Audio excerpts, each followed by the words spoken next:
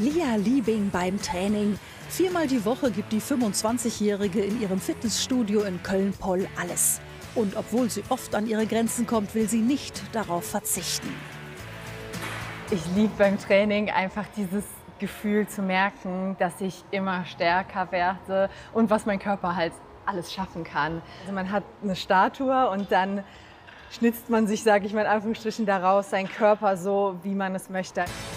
Schon seit vier Monaten bereitet sich Lia auf den wichtigsten Wettkampf ihres Lebens vor. Das Ziel, Miss Universe in der Bikini-Klasse. Dieses Jahr soll es in Las Vegas klappen und dazu muss alles perfekt sein. Es sieht sehr, sehr gut aus. Ich bin schon fast auf meinem Bühnengewicht. Also ich bin jetzt bei 59,2 Kilo. Und wir haben gesagt, so 59 Kilo ist optimal.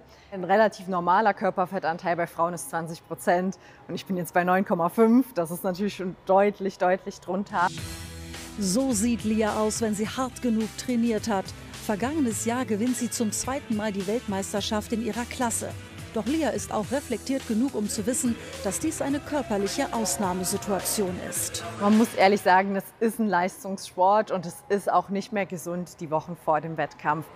Früher war sie Leistungsschwimmerin, kennt und liebt den Wettkampf. Trotzdem will sie keine Muskelberge, sondern definiert sein. Mir ist es total wichtig, weiblich zu bleiben und deswegen ist die Bikini-Klasse auch optimal, weil ich als Bikini-Profi-Athletin, muss man auch ehrlich sagen, natural sehr erfolgreich sein kann und das ab einer gewissen Klasse an Muskulatur halt nicht mehr so ist.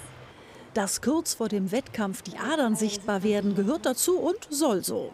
Das ist nichts Ungesundes oder so. Das ist einfach nur bedingt von dem geringen Körperfettanteil, dass es halt sichtbar wird. Jeder hat das im Endeffekt. Es ist halt nur versteckt unter dem Fett, sage ich mal.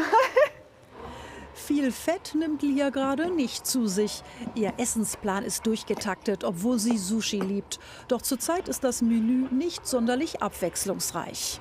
Ich esse tatsächlich mein Reis mit Hähnchen und Gemüse. Ich glaube seit fünf Jahren jetzt mittags. Und ich liebe es jeden Tag. Man glaubt es mir nicht, meine Kollegen glauben es nicht, aber es ist wirklich so. Natürlich, wenn ich im Urlaub bin, mache ich auch mal eine Ausnahme. Doch Disziplin ist alles, auch wenn darunter manchmal das Sozialleben leidet. Mhm. Lia nimmt diesen Verzicht gern in Kauf. Anfangs war es für die Familie schon sehr komisch, vor allem dieses das Essen in Tupperschalen mitbringen und eben auf Familienfeiern auch mal nicht den Kuchen zu essen. Aber nach zwei Jahren hat es dann, glaube ich, jeder aus meinem Freundes- und Familienkreis verstanden und wusste, okay, es ist normal, die Lia bringt ihr eigenes Essen mit. Auch auf der Arbeit. Anfangs haben sich die rein männlichen Kollegen der Maschinenbautechnikerin noch gewundert.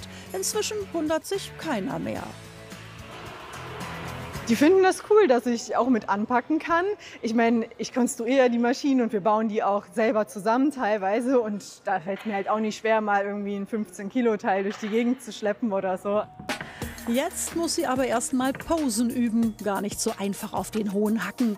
Aber Lia hat einen Traum und dafür ist sie bereit, vieles zu opfern. Mein größtes Ziel ist, Miss Universe zu werden. Und den Titel möchte ich mir in Las Vegas holen am 20. Oktober. Ich weiß, dass das sehr, sehr hart wird. Ich bin 2022 knapp am Titel vorbeigerutscht. Doch wer so hart an sich arbeitet, wird vielleicht auch belohnt. Neben all den Wettkämpfen hat sie aber auch noch ein ganz persönliches Ziel. Und das wäre für mich so die coolste Herausforderung, zu sagen, okay, nachdem ich mal irgendwann Kinder habe, gehe ich noch mal auf die Bühne. Wenn man Lia so sieht, wird auch das ganz sicherlich klappen.